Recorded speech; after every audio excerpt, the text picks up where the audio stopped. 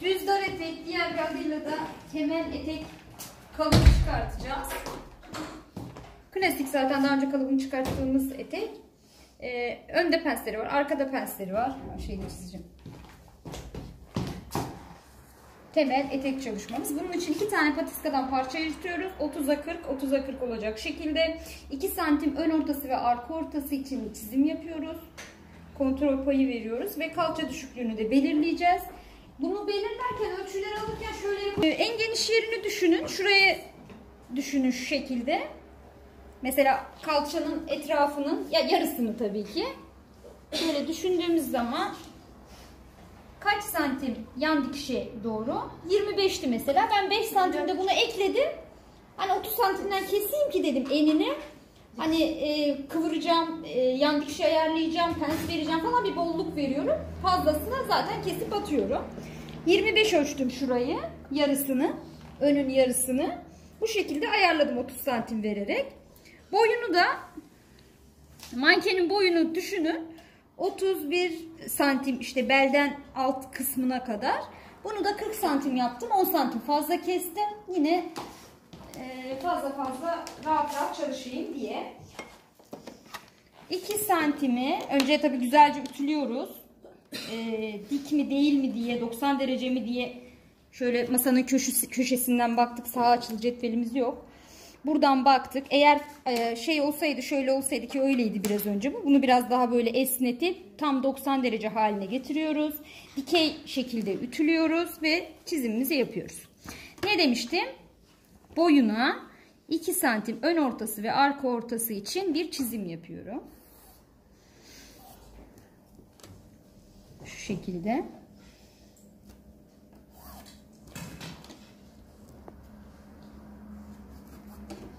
Ön ortası olsun bu. Ön ortası.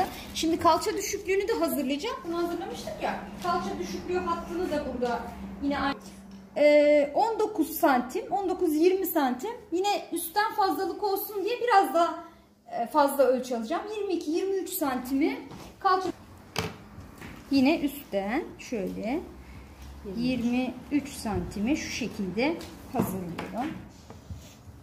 Siz de bu arada benimle birlikte yapabilirsiniz.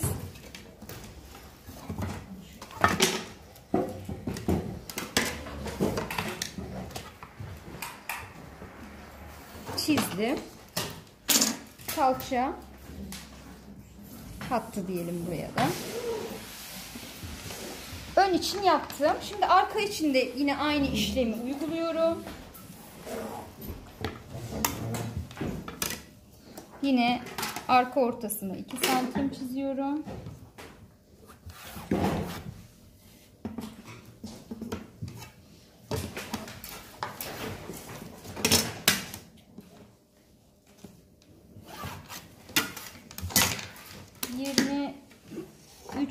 Santim. Bunun da kalça düşüklüğünü ayarlıyorum.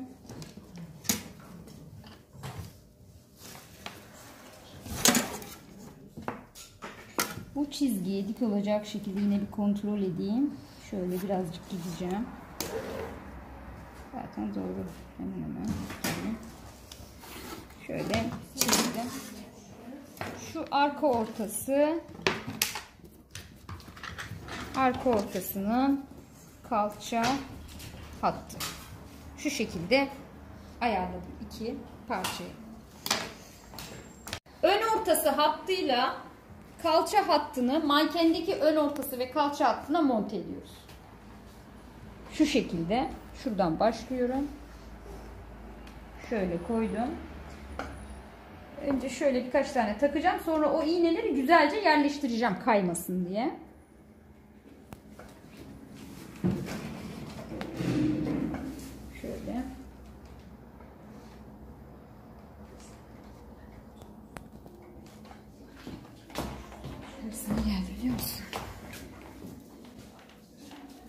Şöyle biraz daha sağlam olmasını istiyorum kaymasın diye. Gergin ve sağlam olsun. Burası hiç oynamasın. Şuradan da devam ediyorum. Şöyle. Şöyle.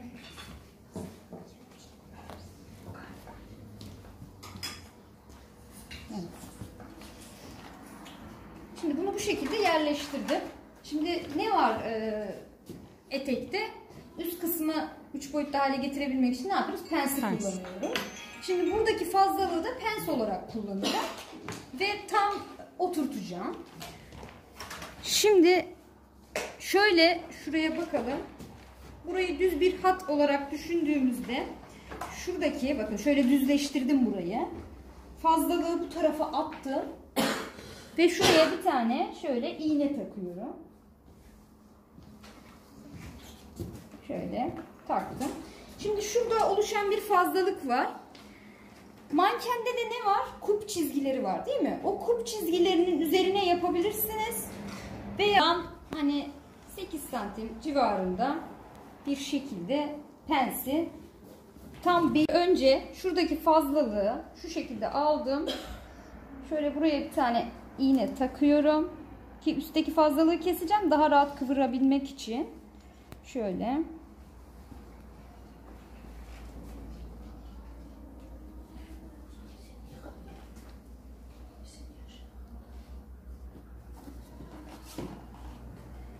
Burayı tam oturtuyorum. Şu fazlalığı kesip çıtlatacağım ki rahatça pense oturtayım diye.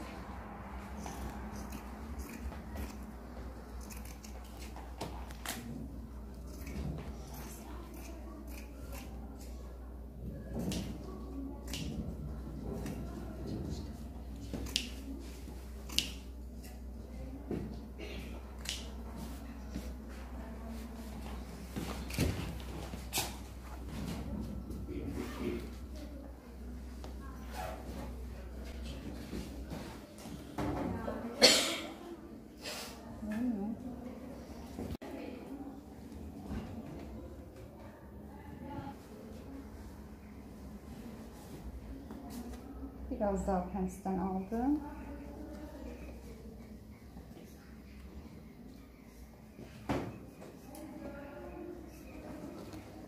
Burada kalça hattını hiç oynatmıyorum farkındaysanız.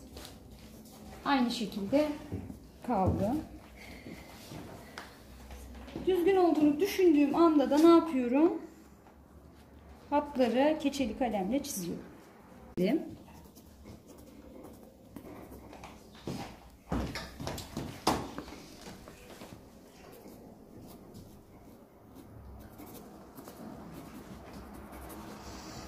Yan dikişi çiziyorum. Oturduğunu düşündüyseniz artık. Şurası yan dikiş herhalde.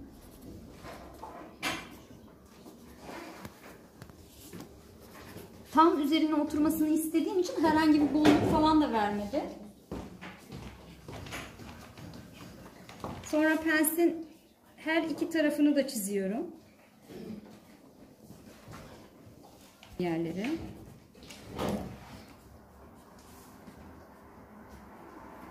Tam uç noktasını işaretliyorum noktayla. Şuralara da bir işaret koyuyorum. Bu çünkü düz çizilmiş bir pens olacak. Yine de bir işaret almam lazım. 3 tane noktası olacak. Etek boyu aynı şekilde kalsın. Oradan bir şey almama gerek yok. Öne hazırladım. Şimdi arkaya geçelim. Fazlasını 2 santim bırakıyorduk hatırlarsanız. Şu şekilde şöyle fazlasını çizdiğim çizgiye paralel olarak kesiyorum. Şöyle. Arka ortayı da arka orta çizgisinde arka orta hattına sabitleyeceğim.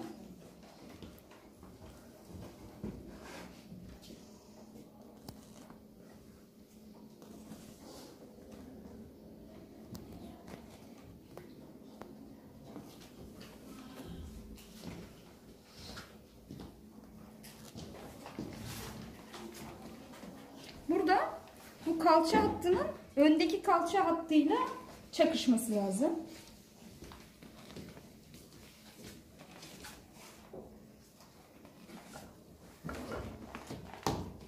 Devam edecek şekilde şöyle çakışması lazım. Evet burayı ayarladı. Şimdi yine burada bir fazlalık oluştu değil mi? Bu fazlalığın bir kısmını şöyle bu tarafa atıyorum. Kalça hattını değiştirmeden. Diğer geri kalan potluğu da pens olarak kullanacağım. Şuraya şimdilik şöyle bir iğne takıyorum.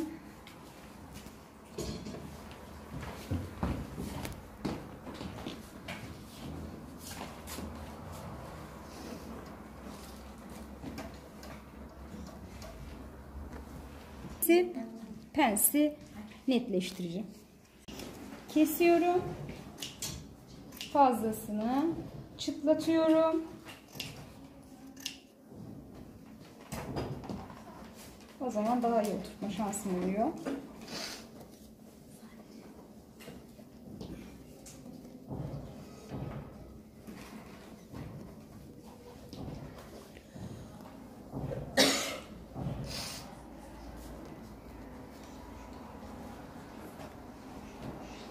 Pense fazlasını alarak katladım.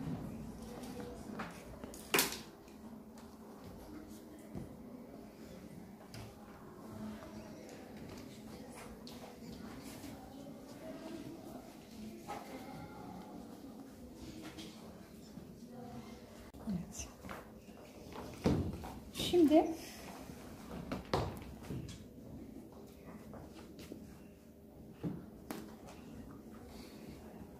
yanı yanda şöyle bir şey yapmıştık hatırlarsanız. Önce birbirine şu şekilde iğneledik. Çizgiyi baz alarak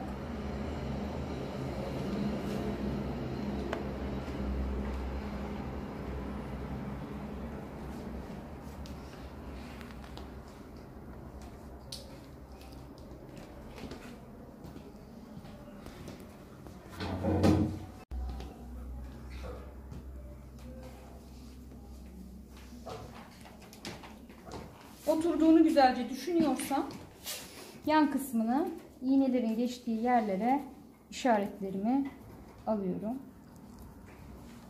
Aynı renkle aldım. Fazlasını kesiyorum. Kestikten sonra şöyle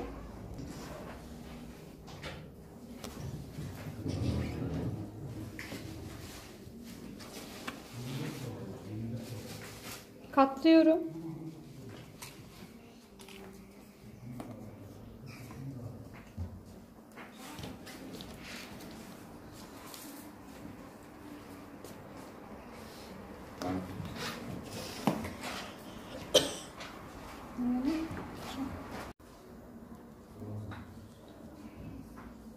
Çizgileri üst üste getirip tekrar yapıyorum. Kez mankene iğnelemedim. Çizdirelim.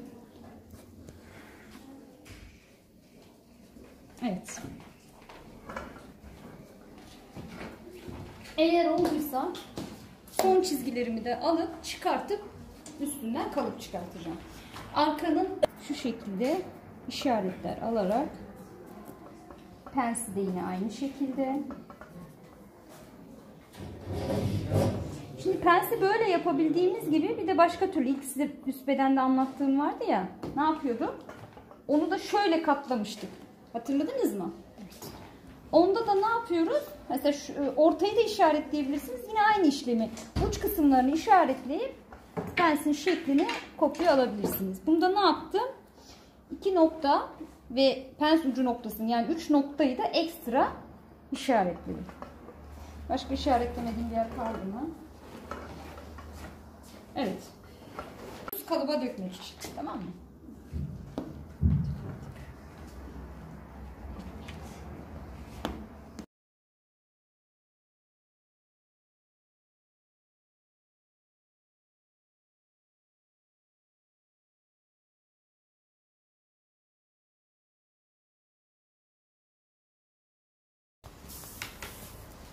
Öncelikle arkadaşlar bunları kağıda aktarırken böyle bir çizgi çiziyoruz ki o çizgi hattına e, paralel olacak şekilde ön ortasını koyup yerleştireceğiz. Yan yana sığsın da şöyle. Yani tıpkı şeyi çıkarttığımız gibi düşünün. Böyle karşılıklı oluyor ya.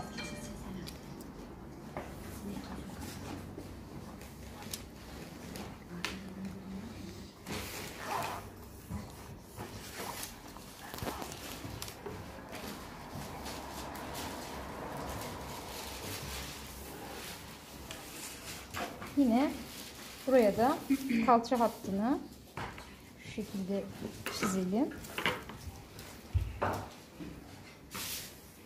Kalça hattını da kalça hattına yerleştireceğiz çünkü.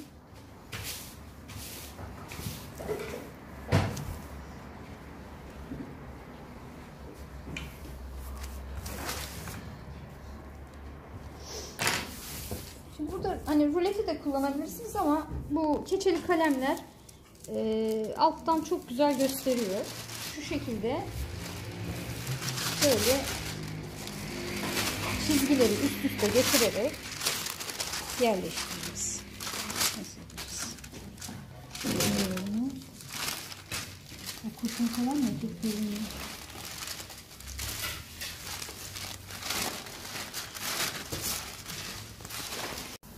Bu çizgileri aktaracağım. Önce kurşun kalemle. Aynı çizgileri alıyorum.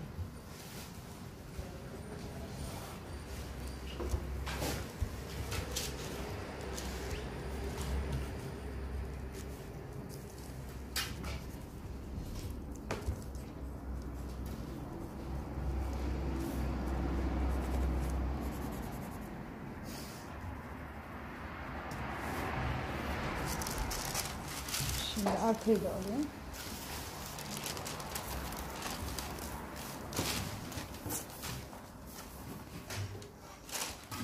Yine çizgiler üst üste gelecek şekilde devam olacak şekilde yerleştireceğim.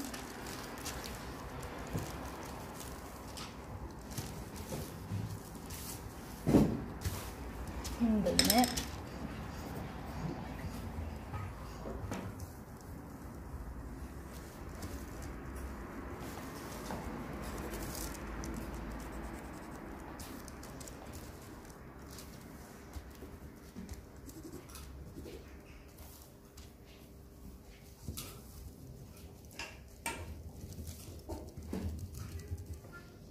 Bunların düz olduğunu düşünüyorum. O yüzden 3 nokta alsam da yeterli oluyor.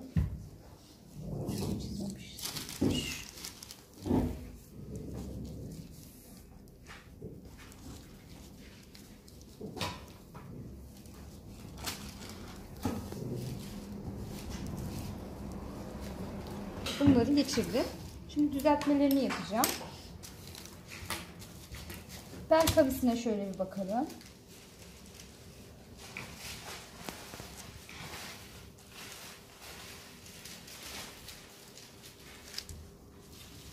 Kalça kavisine bakıyorum. Kaviste hafif şöyle bir e, iğnelemeden kaynaklanan şöyle bir içeri girme var gördüğünüz gibi. Onu çizerken biraz daha düzelterek çizeceğim. Ama diğer böyle uzun olanla daha güzel. Evet. Orayı da düzeltmiş oluyoruz bu arada. Şöyle.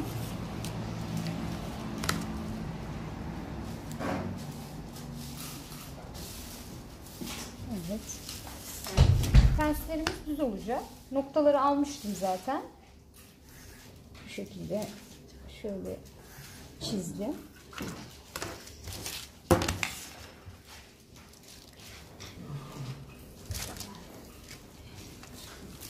Evet yapacağım.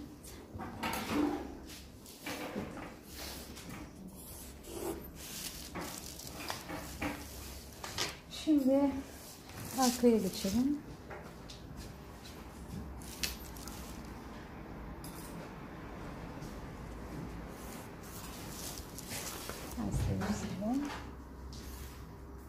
Şimdi bunu özellikle çizdim. Bakın o iğnelediğimiz o kurşun kalemli olan biraz daha geride düz değil. Onları da düzeltmiş oluyoruz.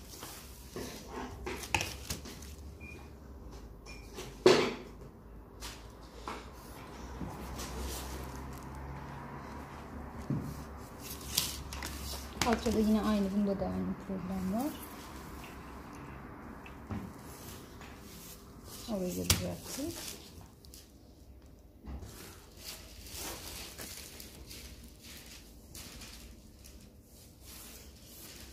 Şimdi bir kağıt makası alalım mı?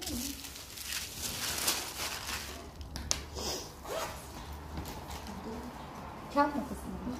Kağıt makası. Şimdi şu pensi kapatıp bir kontrol edeceğim. Bunları bir ayırayım önce birbirinden.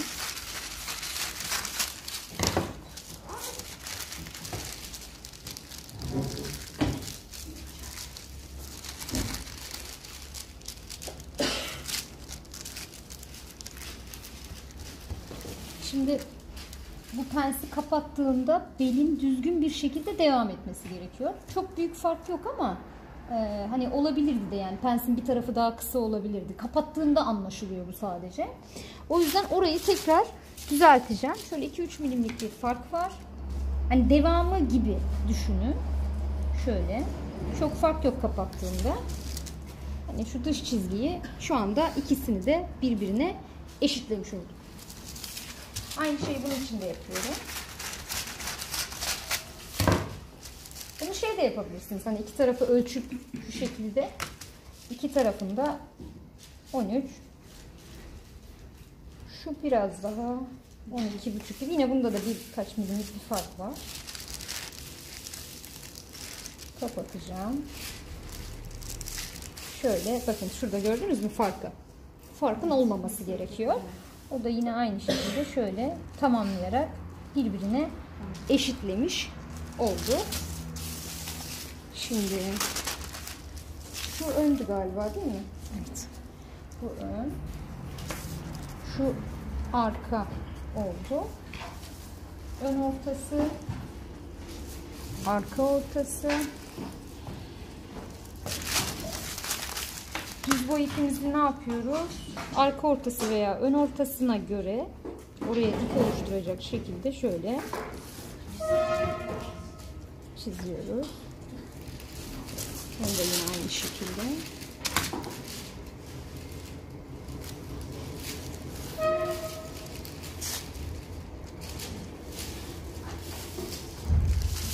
Kaç bedende onu yazalım. 38 beden. Mankenimiz 38'di çünkü. Bu şekilde kontrol edeceğimiz bir şey kaldı. Hani yanlış işleri kontrol edebiliriz. Düzgündü baktığında ama hani şurayı ölçüp bir de burayı ölçüp e, eşit geliyor mu birbirine diye bakabiliriz. Genelde eşit geliyor ama onun dışında bir sorun görmüyorum. Bu şekilde paylarını verip dikişe hazır ettik.